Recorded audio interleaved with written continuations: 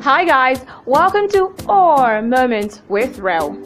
Auntie Coco and Penelope sport twin braid styles. P looks absolutely pretty in pink on her sixth name day. Or so beautiful. Queen of Wimbledon, Serena Williams makes it to the second week.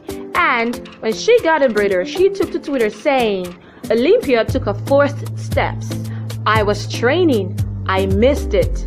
I cried. Aww.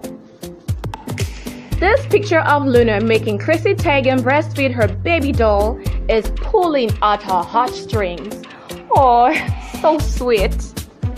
May we have more or moments to share and celebrate. So, may you have monster energy on this fine Monday. Bye bye.